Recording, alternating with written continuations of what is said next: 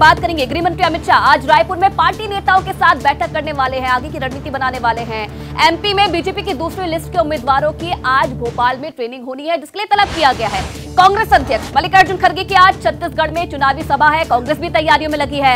वहीं पंजाब की अगर बात करें, पंजाब में किसान संगठनों का आज से तीन दिन का रेल रोको आंदोलन है। इसी के साथ साथ देखिए, दस दिन से चल रहे गणेश उत्सव का आज समापन होगा, जिसके लिए तमाम तैयारियाँ पुलिस बल की तरफ़ से की गई है और आज रौनक मुंबई में देखने को मिल रही है।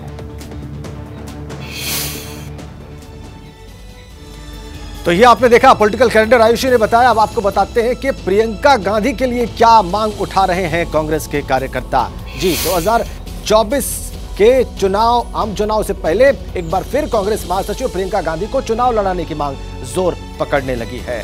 और कांग्रेस कार्यकर्ता यूपी के फूलपुर में जगह जगह पोस्टर लगाए हुए हैं, जिनमें प्रियंका को चुनाव लड़ाने की मांग की गई है। पार्टी कार्यकर्ता की ओर से लगाए गए ये पोस्टर यहाँ चर्चा में है कि क्या उनकी ये मांग पूरी होगी, ये चर्चा लगातार हो बिल्कुल, पोस्टर लगाने वाले कांग्रेस कार्यकर्ता को क्या कुछ कहना है, वो भी आपको सुनवा हैं इस पोस्टर के ज़रिए हम बताना चाहते हैं कि लोगों को फूलपुर की जनता, गांधी परिवार से कितना लगाव है। प्रयागराज से चूँकि उनकी जन्मभूमि, उनके दादा नाना की रही हो तो लोगों, उनका दिल, हम लोगों का सबका जुड़ा हुआ उनसे। अब देखिए, फूलपुर की सीट आखिरकार इतनी महत्वपूर्ण क्यों है? ये ग्राफिक्स के ज़रिए आपको समझाते हैं क्यों यहाँ पर जो कांग्रेस कार्यकर्ता हैं, प्रियंका गांधी को चुनाव लड़ाने की मांग कर रहे हैं। इसका पूरा समीकरण आखिरकार समझते हैं क्या है। देखिए, फूलपुर सीट से नेहरू लगातार तीन बार सांसद बने हैं और यहीं से जीतकर वो देश के प्रधानमंत्री बने। नेहरू की बहन विजय लक्ष्मी पंडित भी यहीं से सांसद बनी थी। नेहरू परिवार का, प्रयागराज का पैतृक आवास आनंद भवन भी फूलपुर सीट में ही है और पूर्व पीएम रहे वीपी सिंह भी फूलपुर से चुनाव जीते थे और इसीलिए कांग्रेस कार्यकर्ता हैं, वो ये मांग कर रहे हैं कि प्रियंका गांधी को यहाँ से चुनाव लड़ाया जाए।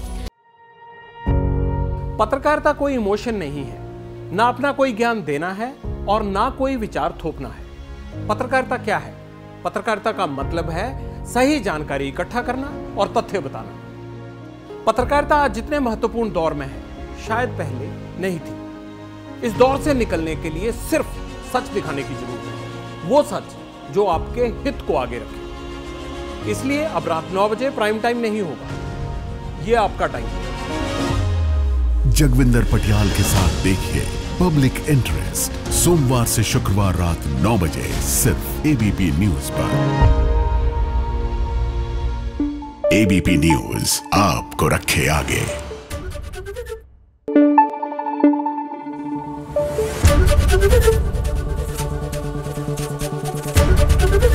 एबीपी न्यूज़ आपको रखे आगे।